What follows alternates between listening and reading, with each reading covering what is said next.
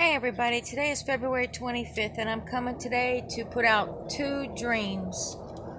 Um, one that I had about a year ago, and uh, the second one will be one that I had just the other night. Uh, the first one was real quick. Um, I was in a town, and um, I was just walking down the street. I had my pajamas on. I saw that there was a coat on the ground and I stooped over, picked it up, and I wrapped it around myself.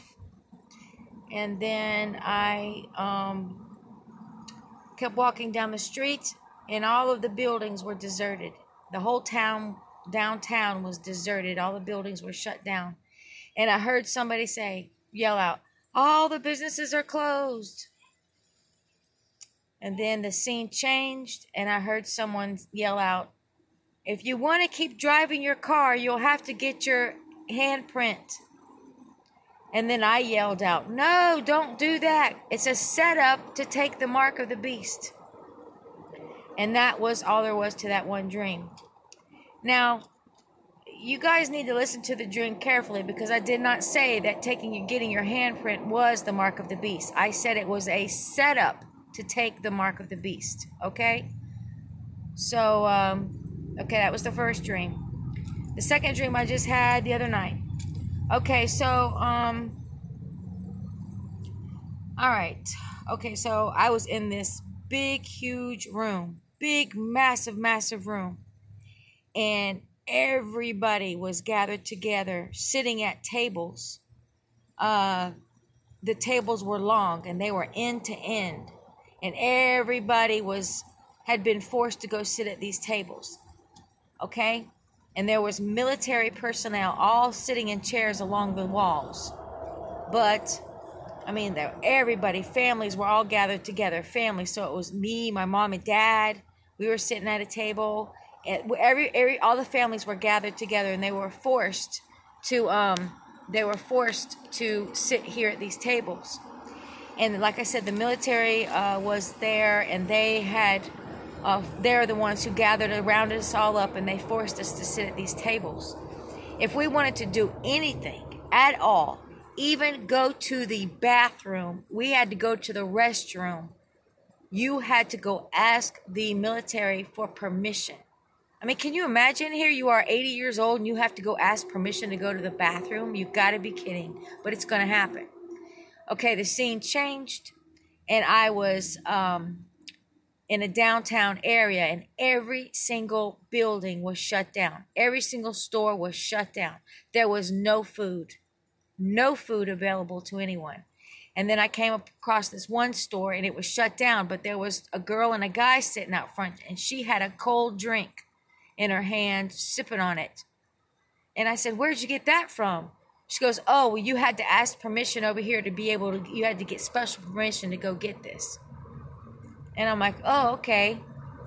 And then all of a sudden the scene changed. My husband and I were in my old, I had an old Toyota Tundra, and uh, we were in that. And uh, we were driving down a road. And my husband said, Well, we need to go and gather wood. We got to put wood all in the back of the truck so we can burn it for our food. And I said, Oh, well, that's a great idea. I said, But uh, excuse me, where's the food coming from? And he says, Well, we're going to go get a banana tree. And I said, Where are you going to get a banana tree from? So um, his plan was to go out in the uh, like the woods and, and try to survive out in the woods away from all the military and stuff like that. Okay, so that was the end of the second dream. So that dream right there shows you yes, America's going to go into captivity. There's going to be an economic collapse there will be no food, and uh, the military is going to be 100% in control. You will have to ask permission to do any and everything. So it's coming.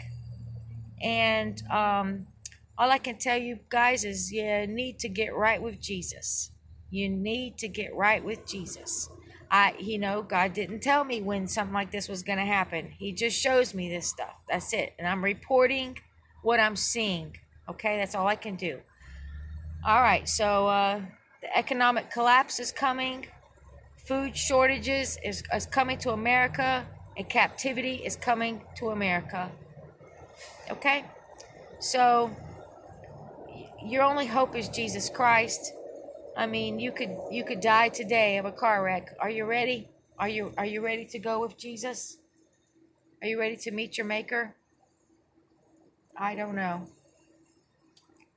But I just say, Father, in the name of Jesus Christ, please, Father, in the name of Jesus, just please take everybody's scales off their eyes. Let all their ears open up so they can hear these warnings. And help us just to stand in faith, walk in obedience, come out of the things of the world.